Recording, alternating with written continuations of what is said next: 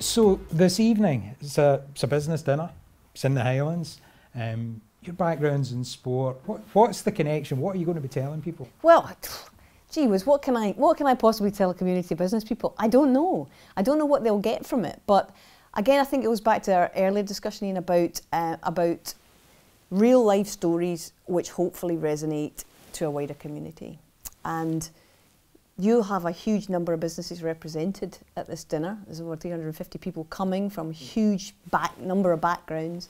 And I hope that my story will resonate with them about the changing face of my business in televised sport. That is my business. It has been for 33 years.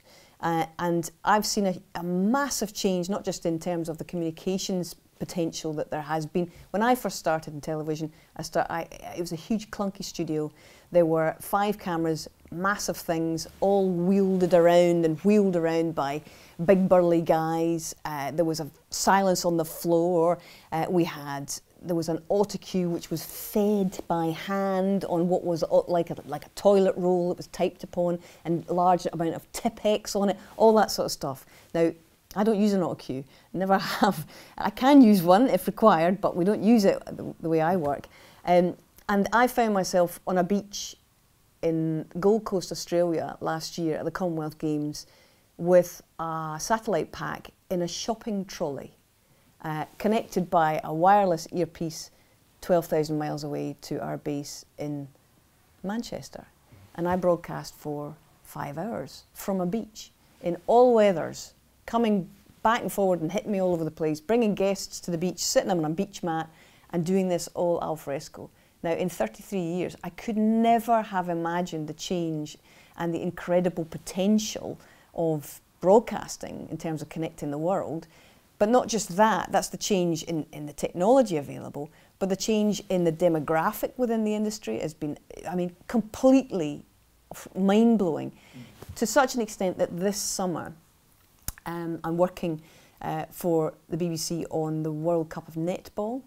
Uh, now, you cannot get a ticket for the World Cup of Netball. It's in Liverpool's Echo Arena. And since England won the gold medal at the Commonwealth Games last year, netball's profile has whoosh gone like that. Now, I've, I've worked on netball for 30 years, and I actually did the, world, the last World Championship to be staged here about 25 years ago in Birmingham. And, and in that broadcast, I, I presented it, I commentated on it, and I did all the interviews because it was a very small staff. Now, it's a huge, huge, it's a big deal. We're sharing a broadcast with Sky, we're having live matches every day, and it's part of a summer of sport which has been marketed as change the game. So we're changing, we're changing the, the whole impetus of broadcast sport. It's not just guys who can become professional sportsmen. Women can become professional sportswomen now in a huge variety of sports, from football Scotland going back to a World Cup at last. I've waited a long time for that. We've got the netball, we've got Wimbledon, we've got the World Athletics. There's so much more. We've got the Ashes. And it's all being marketed as a whole bunch of world class sports which just happen to be being played by professional women.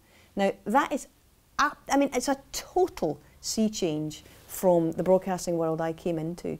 So it just shows you the revolution that can happen in any industry within a matter of 30 years.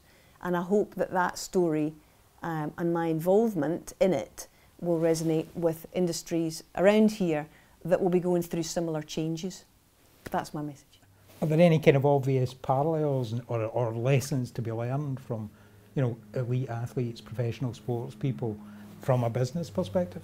Yes, preparation, preparation, preparation, um, and it's just it's sheer hard work, but it's not giving up. It's it's all of these cliches that you hear about sport. But I've met so many people for whom it is lived. They live by those rules.